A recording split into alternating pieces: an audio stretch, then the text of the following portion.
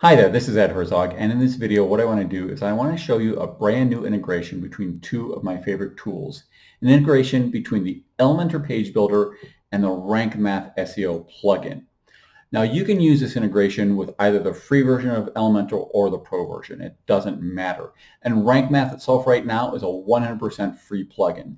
I know that in the future they do plan on introducing a, a paid version, but what I've heard, what they've said all along is you're not going to lose any of the features. So if you want to use Rank Math as your SEO, SEO plugin to analyze the SEO of your, of your website, of your posts, of your pages, you will not lose any features if you don't choose to switch over to their paid version when that comes out. Now, I switched to Rank Math several months ago. I had used Yoast for a while, for a long time actually, which is a, you know, as you may know, is a very popular SEO plugin. But I found that it never quite played well with Elementor. I would have things on my page and Elementor would say, or I'm sorry, and Yoast would say they weren't there. You know, it would say that I didn't have the uh, my keyword in the page title of my post. And I'd say, but there it is. It's right there. And it just, Yoast just never for me played well with Elementor. So I looked around, I found Rank Math, and I tried it out, and I just, right from the beginning, I thought it was amazing. And it didn't have those issues that I had with Yoast. And so I switched right away, and I, so I've been using it for several months. So when they came out with this integration, I was like, wow, this is awesome. So I'm going to switch over now and show you what that integration looks like. Switch you to my desktop. So here I am. You can see I've already got a post pulled up on my website called 15 Free Online Tools to Grow Your Business. I'm already inside of the Elementor editor. Now you can see here with Elementor, you know, this is how it normally looks. You get elements and then you get your global widgets. But now you also, once you have the Rank Math SEO plugin installed on your website, you also get this third thing here called SEO. So you see here right now, this is completely 100% integrated with Elementor. So you see, it's right now showing you the preview of what your post, in this case, or it could be a page, will look like on Google or on other search engines. And it's also giving it a score. I'm getting 90 out of 100. So there are a couple improvements I could make, but I'm doing pretty good.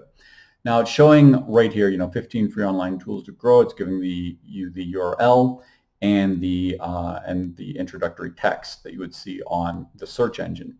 Now right here I can go in and just click on this button and edit that. Now the cool thing here when I edit it, it's basically, it's showing me how this will show up in Google search results, what it will look like. Now it doesn't tell me my, what my rank is, rank is. It's not the sort of plugin that gives you your ranking for Google, but it will show you here exactly what it looks like. And you can also take a look at it, click on that, and take a look at it, add it on mobile. Then you can just go in here and edit. If you want to, you've got different uh, things you can put in here for your title uh, you know, different separator characters. You've got a whole bunch of different things you can just click on and it will go into the title. Or you could type the title if you want to do it that way. Now in my case, you may not be able to see this, but it's picking up the title and the site name, which is why you're seeing, if we go back over here to the desktop, 15 free online tools to grow your business, and then the uh, dash, and then Ed Herzog. Then you've got the permalink. Again, that's already set up as edherzog.com backslash free online tools. And then here is the description right there. Uh, and so I can just, I could edit that right here if I wanted to, but I've already got it set up the way I want to. But if I, if it wasn't, I could go ahead and edit it. You can also then take a look at how does it, how is it going to look when it's shared on social media. So again, you see right here what it looks like, the preview, and then you can make changes here. You could change the title, change the description, add an image. You can add an icon overlay to the thumbnail. So you've got some options there for, for uh, customizing the look of how your post will be when it's shared on social media. And there's the Twitter version right there. And most of this, the Twitter version generally gets picked up from Facebook. You can uh, turn that off though, in which case it's not getting picked up by the Facebook tab, and then you can edit it just like you would with the Facebook one. And then you can also change card type. I've got summary card with a large image, but you can put summary card, app card, or player card. So that's how it looks when you preview it. Now here it's giving you feedback on how your website is doing in terms of the different criteria. Um, actually, should back up here a second. First, you've got here your focus keywords. You can put your focus keyword in. Right now, my understanding is they're only going to show you information for one focus keyword. I do believe that they're working on doing multiple, but for now, if I were to add another one, let's just say my focus keyword word right now is free online tools. If I wanted to add a second one, online tools, you see it doesn't really come up. It, it shows it, but it's kind of a light reddish gray sort of thing. Uh, so it's really just giving you one. So that's when when we look at this 90 out of 100, it's what how well I'm doing for that particular keyword here. You can also pick this as your pillar content if this is a very key uh, post for your website. Could click that right there. Then here it's giving your basic SEO. And again, you can click on any of these uh, any of these question marks and give you more information. So, you know, it's saying right here, my focus keyword is in the SEO title.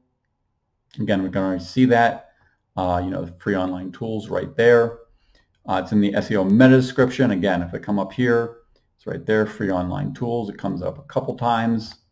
So, you know, if, if you're getting things that are wrong, it's going to tell you, and then you can go back and change them. The focus keyword is in the URL. Yes, it is, etc. So, you know, anything that's telling you is not good, you want to go then and change, and that will definitely help you relative to Google. Now, here I am getting, uh, this is basic, this is additional SEO. I do have one issue here that I, uh, it's saying my keyword density is 0.038, which is low. Uh, it's found a total of six times. So I could add the keyword in a few more times if I wanted to. Uh, I've looked at it and I think I'd be kind of doing a bit of stuffing. I think it kind of works the way it is. Uh, I think that if I put in the keyword more times, it wouldn't really be very natural. So I'm okay with that. I'm okay with having that particular error. Then you come down here to the title readability. Again, uh, focus keyword use at the beginning. Yes. So I got to scroll down here a little bit. Sometimes those are hard to grab. Title has a positive or negative sentiment.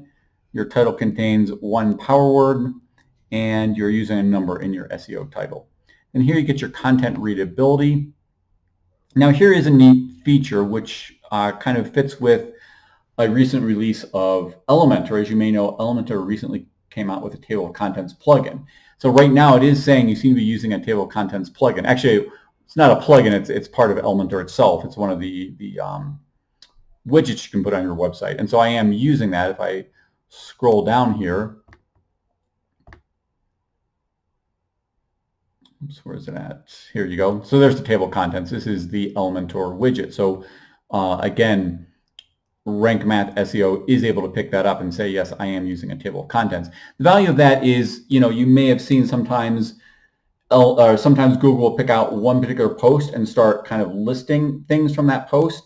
Now it's hard to rank for that. Uh, let me just give you an example from a different um, We'll type in increase online sales. I've got a post on that. Now I don't, you know, because there's a lot of competition for this, I don't rank on this one. I don't show up.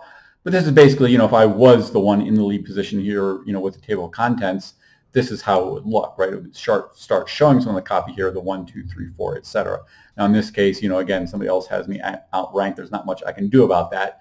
Obviously, I can continue to build my ranking, but for now, uh, I'm not ahead of this particular post in terms of what Google wants to display. Uh, and it says I'm using short paragraphs and my content contains images and or video.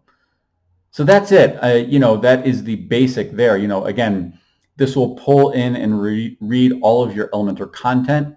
You can then, again, make edits to the content so that, you know, if you've got things that are red uh, that you want to fix, it's very easy to do. And then, you know, it should change to green. Uh, you've got some other things. Now here we're just looking at the general tab. Now you can click over here it gives you robots meta, so you can index, no follow, no follow index, no index, no archive, no snippet. Here you've got some advanced robots meta, which I'll admit is a bit outside of my uh, expertise.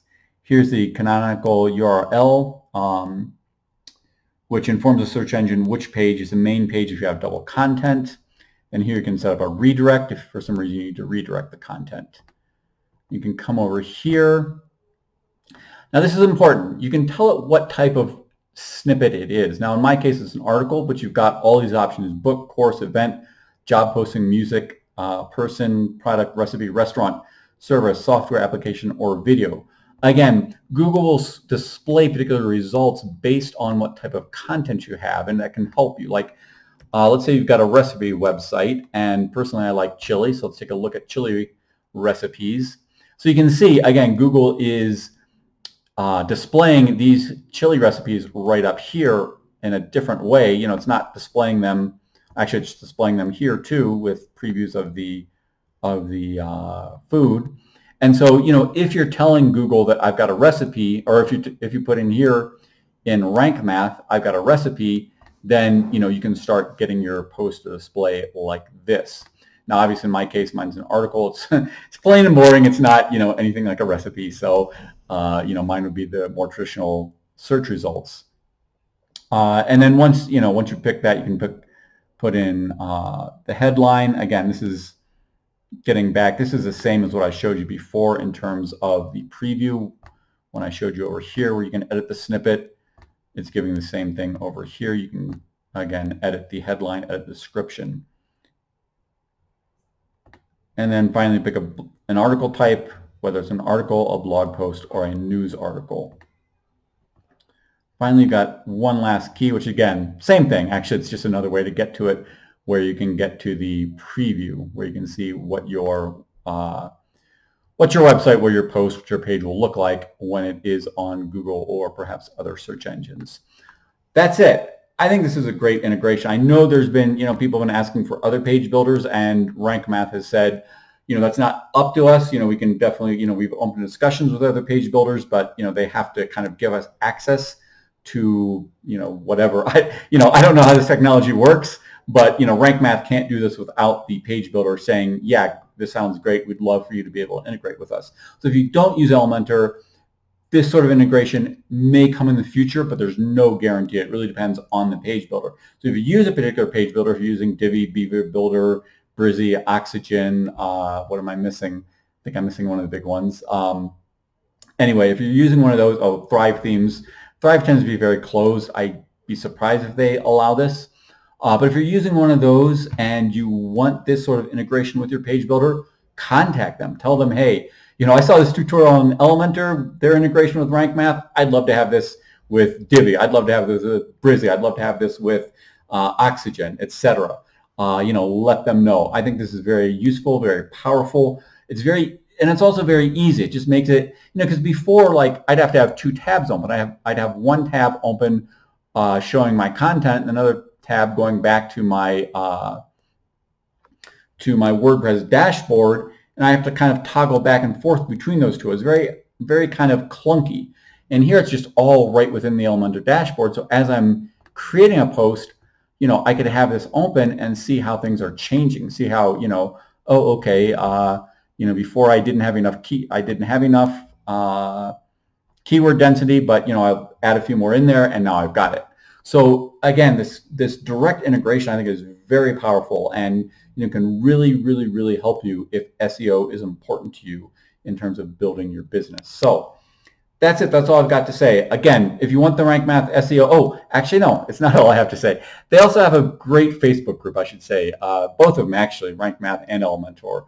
Um, just go here for a second on here. So if you go to Facebook and go to Rank Math,